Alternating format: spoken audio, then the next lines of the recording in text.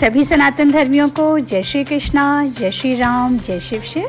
आप देख रहे हैं लोकप्रिय चैनल समाचार 99 और मैं, अपर्णा वाजपेयी और प्रस्तुत है हमारी विशेष पेशकश। प्रसिद्ध ख्याति प्राप्त आध्यात्मिक गुरु कथावाचक श्रद्धेय खगोल कृष्ण जी महाराज ने, पूज्य महामंडलेश्वर स्वामी प्रज्ञानंद जी महाराज और फ़िल्म जगत के युवा होनहार अभिनेता सुशांत सिंह राजपूत के निधन पर गहरा शोक व्यक्त किया है। महाराज श्री ने अपने शोक संदेश में कहा कि पूज्य महामंडलेश्वर स्वामी प्रज्ञानंद महाराज के निधन से समाज को अपूर्णीय क्षति हुई है। श्रद्धेय खगोल कृष्ण जी महाराज ने कहा कि स्वामी प्रज्ञानंद महाराज ने अंतर्राष्ट्रीय प्रज्ञा मिशन और अंतर्राष्ट्रीय प्रज्ञा योग फाउंडेशन की स्थापना की। स्वामी के समृद्ध आध्यात्मिक और सामाजिक योगदान के लिए उन्हें सदैव याद किया जाएगा। महाराज श्री ने ईश्वर से दिवंगत आत्मा की शांति की प्रार्थना करते हुए पूज्य महामंडलेश्वर स्वामी प्रज्ञानंद जी महाराज के अनुयायियों के प्रति अपनी संवेदना व्यक्त की है।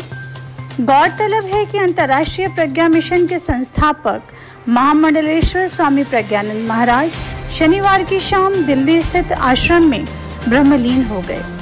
आह्वान अखाड़े के महामंडलेश्वर और दिल्ली संत महामंडल में पंद्रह साल वो अध्यक्ष रहे।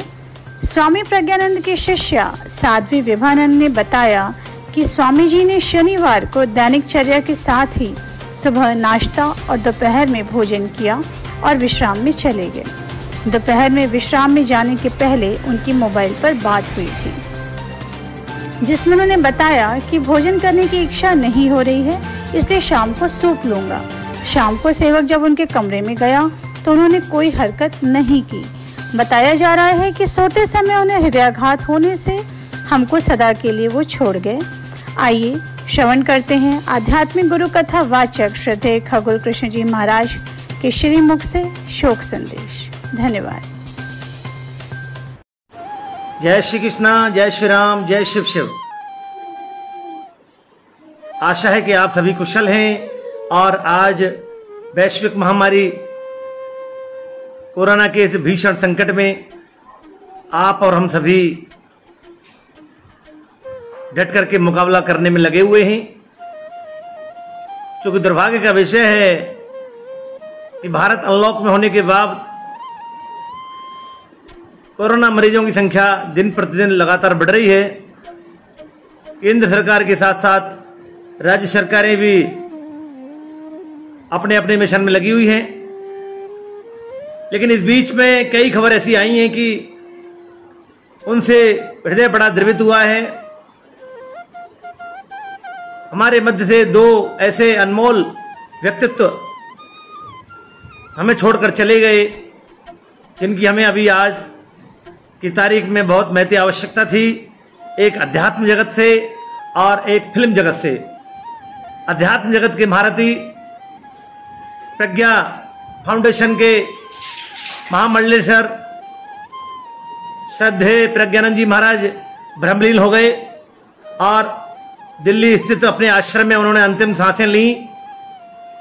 उनके निजी सहायक ने बताया कि अच्छा भला रात में शयन करने के बाद हृदय आघात हो गया। एक तरफ़ ये कहते हैं कि ऐसी जो निधन होते हैं, वो वह बहुत ही तेजस्वी और अलौकिक व्यक्तित्व होते हैं, लेकिन ऐसे देश के मूर्धन्य मनीषी, संत का जानना हमारे लिए बहुत दुखद की बात है। और इस बीच में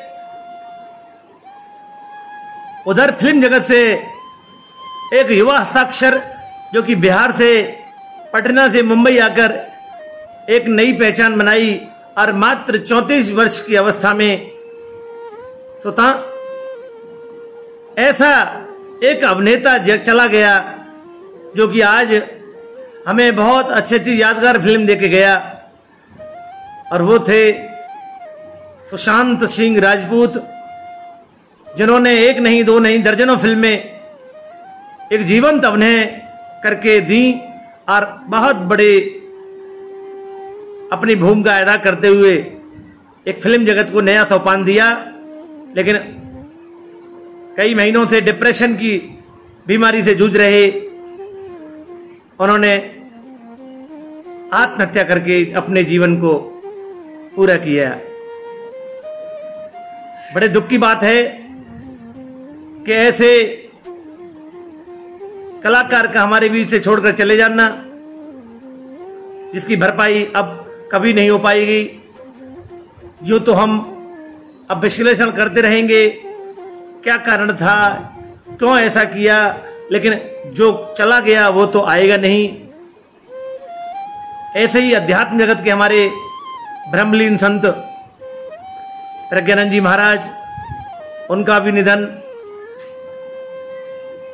हम सभी को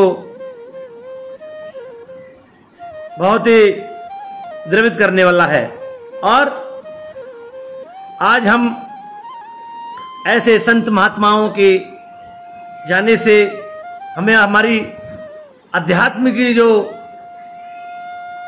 गगरी है, वो ऐसे लगता है कि खाली हो गई। क्योंकि कहते हैं कि विश्वगुरु कहलाने वाले भारत में इन संतों के, इन महात्माओं के, इन आदरणीय अध्यात्म वेदताओं के वजह से ही हमारा भारत देश एक अलग पहचान लेके चला है। तो ऐसे मनीषी संत के लिए हम श्रद्धांजलि अर्पित करते हैं, श्रद्धा समान अर्पित करते हैं, ईश्वर श्री चरणों में अपना स्थान दें। और उधर फ़िल्म जगत से युवा अभिनेता सुशांत सिंह राजपूत के शोक संतप्त परिवार को यह दुख सहन करने की ईश्वर शक्ति प्रदान करें। उनकी यादें, उनके किए हुए गहने उनकी यादों को जीवंत करते रहेंगे। रुपहले पर्दे पर उनकी की, की हुई भूमिका हमें उनका याद कराती रहेगी। हम उनको श्रद्धा सुमन अर्पित करते हैं। शोका कुल परिवार को यह दुख करने सहन करने की शक्ति प्रदान हो। इन्हीं शब्दों के साथ अपनी बाड़ी को विश्राम देते हुए उन्हें दोनों महान हस्तियों को श्रद्धा सुमन अर्पित करता हूँ। ओम शांति।